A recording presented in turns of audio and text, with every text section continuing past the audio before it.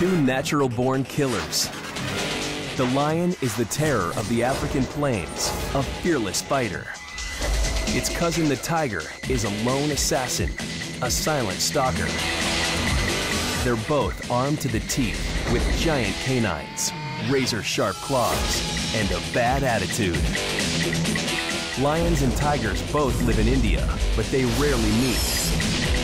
Contender number one, the tiger. Meet the striped assassin, ancient symbol of stealth and power.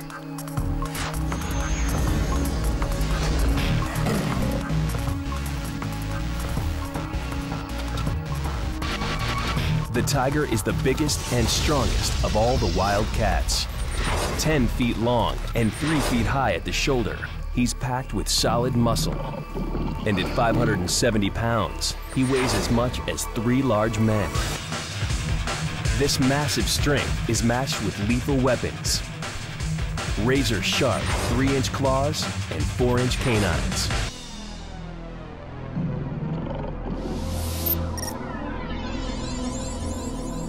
Now, to meet the opposition.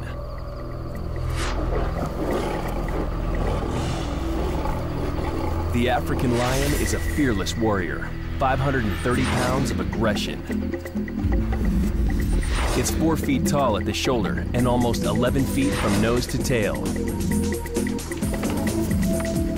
A male spends his first four years learning to fight, preparing for the day he'll vie for control of a pride.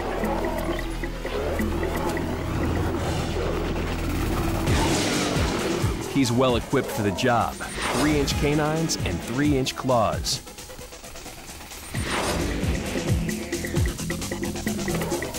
His willingness to take on all comers has earned him the title King of the Beasts.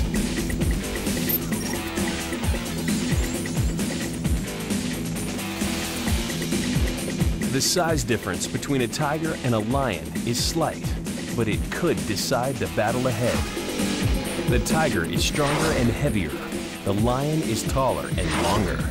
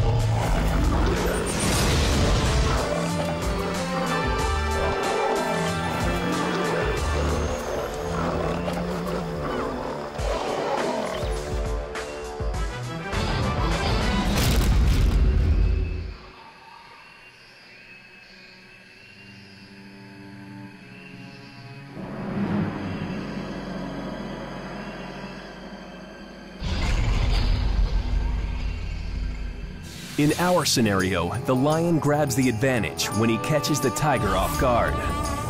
The agile tiger quickly recovers and attempts a throat bite. The lion shakes off the attack and the combatants are back to square one.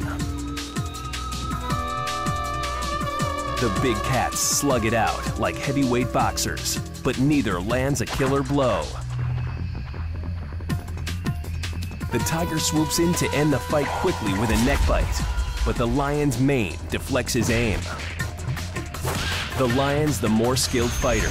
At last he sees an opening and delivers a fatal bite. The lion retains his crown as king of the beasts.